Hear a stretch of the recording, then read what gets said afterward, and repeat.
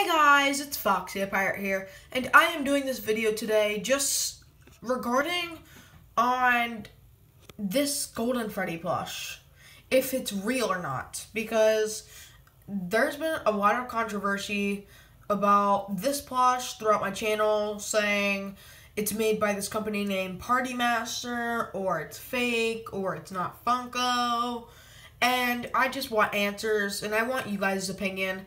So, um, first, I'm going to be showing the plush again. It looks real, it feels real, and I've looked at other pictures, and they all look the same, especially the Party Master ones. It's that the one that's making me confused is that this one has the Funko Fights Freddy's plush tag on it, which is confusing me because people are calling it fake. So I don't know who to believe or what to say, but I don't really know. Yeah, it has someone's name on it from the last owner. It looks good. Um, this is what it looks like. Here's the hat. Has the same exact texture as the normal Freddy hat. And it has the same colors and everything on this Golden Freddy plush. But I don't really know if it's not real or not. I really don't know.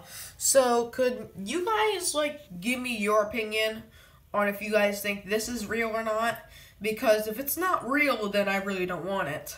So, and I already have somebody who wants to trade me their real Nightmare Bonnie plush for this Golden Freddy if it's not real. So, if it's not real, I'll just trade it, get a real Nightmare Bonnie plush, and everything will be okay. So, thank you guys so much for watching, and I will be having another video come out later. It's about Bonnet plush and a plush episode. So thank you guys so much for watching and peace.